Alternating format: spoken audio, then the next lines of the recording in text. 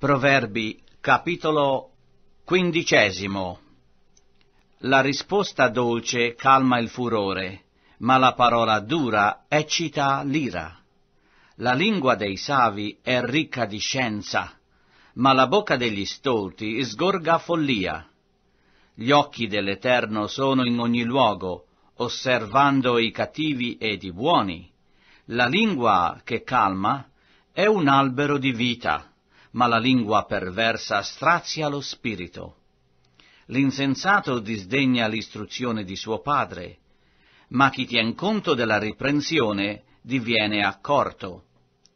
Nella casa del giusto v'è grande abbondanza, ma nelle entrate dell'empio c'è turbolenza. Le labbra dei savi spargono scienza, ma non così il cuore degli stolti. Il sacrificio degli empi è in abominio all'Eterno, ma la preghiera degli uomini retti gli è grata. La via dell'empio è un abominio all'Eterno, ma egli ama chi segue la giustizia. Una dura correzione aspetta chi lascia la dritta via, chi odia la riprensione morrà. Il soggiorno dei morti e l'abisso stanno dinanzi all'Eterno quanto più i cuori dei figliuoli degli uomini? Il beffardo non ama che altri lo riprenda, egli non va dai savi. Il cuore allegro rende ilare il volto, ma quando il cuore è triste, lo spirito è abbattuto. Il cuore dell'uomo intelligente cerca la scienza, ma la bocca degli stolti si pasce di follia. Tutti i giorni dell'afflitto sono cattivi, ma il cuore contento è un convito perenne. Meglio poco col timore dell'Eterno che un gran tesoro con turbolenza. Meglio un piatto d'erbe dove l'amore è che un bove ingrassato dove l'odio. L'uomo iracondo fa nascere contese, ma chi è lento all'ira acquieta le liti. La via del pigro è come una siepe di spine, ma il sentiero degli uomini retti è piano. Il figliuol savio rallegra il padre, ma l'uomo stolto disprezza sua madre. La follia è una gioia per chi è privo di senno, ma l'uomo prudente cammina retto per la sua via. I disegni falliscono dove mancano i consigli, ma riescono dove son molti i consiglieri. Uno prova allegrezza quando risponde bene, e com'è buona una parola detta a tempo. Per l'uomo sagace, la via della vita mena in alto, e gli fa evitare il soggiorno dei morti in basso. L'Eterno spianta la casa dei superbi, ma rende stabili i confini della vedova. I pensieri malvagi sono in abominio all'Eterno, ma le parole benevole son pure agli occhi suoi. Chi è avido di lucro conturba la sua casa, ma chi odia i regali vivrà. Il cuore del giusto medita la sua risposta, ma la bocca degli empi sgorga cose malvagie. L'Eterno è lungi dagli empi, ma ascolta la preghiera dei giusti. Uno sguardo lucente rallegra il cuore, una buona notizia impingua l'ossa. L'orecchio attento alla riprensione che mena a vita dimorerà fra i savi. Chi rigetta l'istruzione disprezza l'anima sua, ma chi dà retta alla comprensione acquista senno. Il timore dell'Eterno è scuola di sapienza e l'umiltà precede la gloria. Salmo 71 In te, o Eterno, io mi confido. Fa che io non sia giammai confuso. Per la tua giustizia liberami, fammi scampare. Inchina a me il tuo orecchio e salvami. Simi una rocca una dimora ove io possa sempre rifugiarmi. Tu hai prescritto che sia salvato, perché sei la mia rupe e la mia fortezza.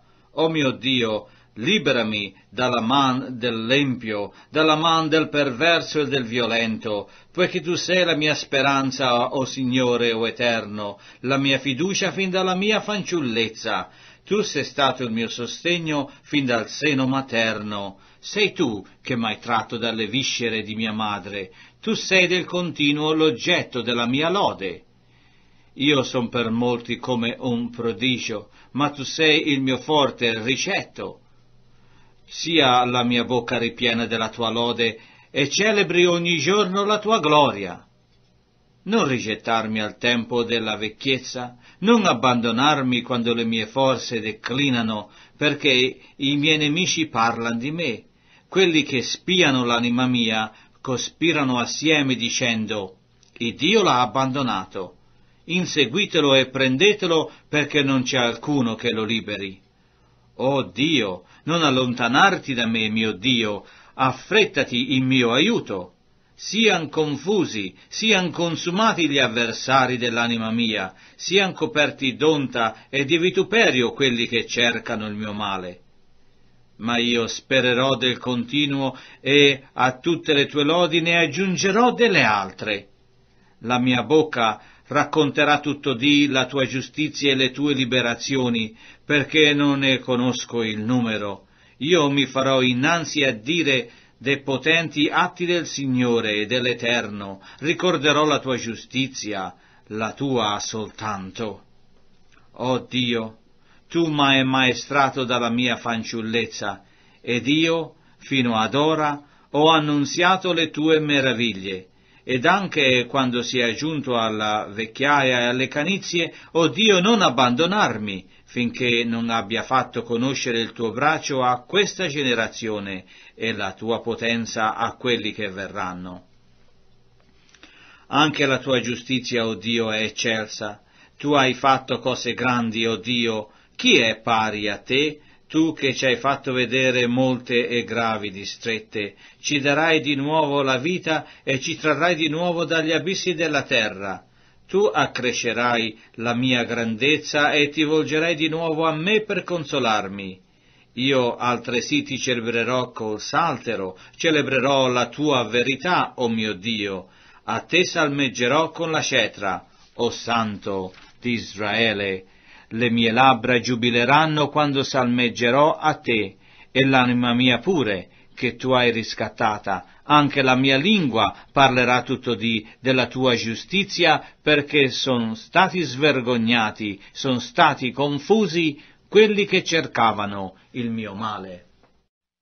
Salmo 72 di Salomone O Dio, Da i tuoi giudizi al re e la tua giustizia al figliuolo del re, ed egli giudicherà il tuo popolo con giustizia e i tuoi miseri con equità. I monti produrranno pace al popolo e i colle pure, mediante la giustizia. Egli farà ragione ai miseri del popolo, salverà i figliuoli del bisognoso e fiacherà l'oppressore. Ti temeranno finché duri il sole, finché duri la luna per ogni età. Ei scenderà come la pioggia sul prato segato, come l'acquazzone che ad acqua la terra. Al di d'esso il giusto fiorirà, e vi sarà abbondanza di pace finché non vi sia più luna.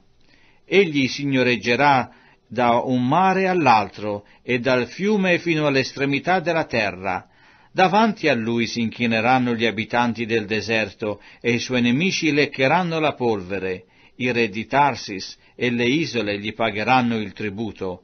I re di Sheba e di Seba gli offriranno doni e tutti i re si prostreranno dinanzi a lui e tutte le nazioni lo serviranno, poiché egli libererà il bisognoso che grida e il misero che non ha chi l'aiuti Egli avrà compassione dell'infelice e del bisognoso e salverà l'anima dei poveri. Egli redimerà l'anima loro dall'oppressione e dalla violenza, e il loro sangue sarà prezioso agli occhi suoi. Egli vivrà, e a lui sarà dato dell'oro di Sheba, e la gente pregherà per lui tutto dì e lo benedirà del continuo. Vi sarà abbondanza di grano nel paese sulla sommità dei monti, ondeggeranno le spighe come fanno gli alberi del Libano, e gli abitanti delle città fioriranno come l'erba della terra.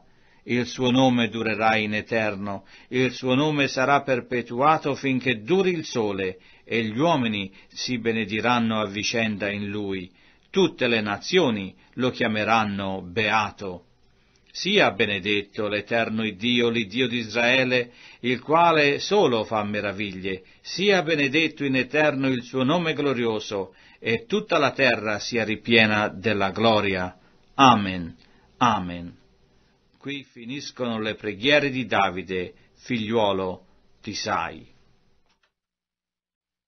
Salmo 73 Salmo di Asaf Certo, il Dio è buono verso Israele, verso quelli che son puri di cuore, ma quant'è a me, quasi inciamparono i miei piedi, poco mancò che i miei passi non sdrucciolassero, poiché io portavo invidia agli orgogliosi, vedendo la prosperità degli empi, poiché per loro non vi son dolori, il loro corpo è sano e pingue, non son travagliati come gli altri mortali, né son colpiti come gli altri uomini, Perciò la superbia li cinge a guisa di collana, la violenza li copre a guisa di vestito.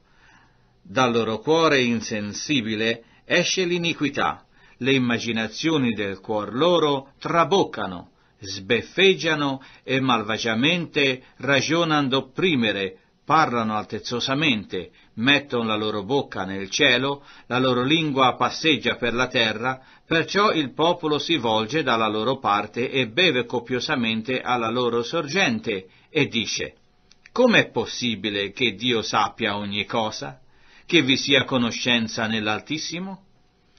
Ecco, costoro sono empi, eppure tranquilli sempre, essi accrescano i loro averi. Invano Dunque ho purificato il mio cuore e ho levato le mie mani dall'innocenza, poiché son percosso ogni giorno e il mio castigo si rinnova ogni mattina. Se avessi detto parlerò a quel modo, ecco sarei stato infedele alla schiatta dei tuoi figliuoli.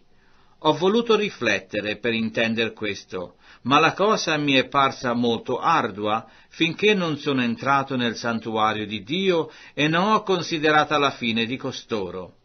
Certo, tu li metti in luoghi sdrucciolevoli e li fai cadere in rovina, come sono stati distrutti in un momento portati via consumati per casi spaventevoli.